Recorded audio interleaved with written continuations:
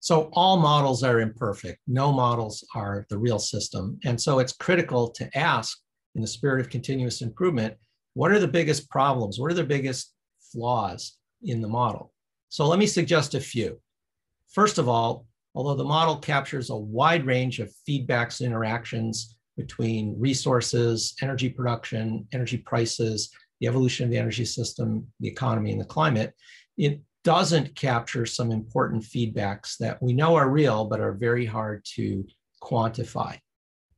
In particular, climate change, global warming, is already harming human welfare. It's already reducing economic output and destroying critical infrastructure and capital stocks that are a foundation for future economic growth. That's already happening now when we've warmed the planet just about one degree C or two degrees Fahrenheit we know that that's going to get a lot worse, that the damage from climate change is going to get a lot worse. We do now capture in a very simple way the feedback from climate change and global warming to harm to the economy.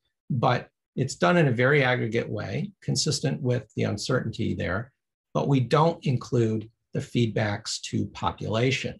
It's not just that climate change is harming GDP, it's also shortening lives of people all around the world. That feedback's not included. Another area where the model uh, could be improved significantly is aggregation. It is a global model. So when you pull a slider in the En-ROADS model, you're assuming that that action or that policy, the carbon price, for example, with the revenue rebated to the public, is being implemented around the world. And of course, different countries have different policies and will adopt these at different rates. Uh, now, we're often asked, well, why don't you just make the model more detailed at the level of all the countries, or at least all the countries that are major emitters? Uh, that would be very difficult because you don't have to just capture what each country is doing, but you have to capture the interactions among the nations not just through energy, but through other forms of trade, capital flows, uh, migration, and so forth. There's no credible basis for doing that right now. And we have to make sure that the model continues to run essentially instantly because its chief advantage is that you can try your own experiments and get immediate feedback. But the aggregation of the model is an issue, and it's important for people to think about what the implications of heterogeneity across the different countries would be. Another potential area for significant improvement is a better representation of climate tipping points. We do have a variety of feedbacks in the model that capture the potential for runaway climate change if the planet warms so much that we cross some critical tipping points. One tipping point relates to permafrost thaw.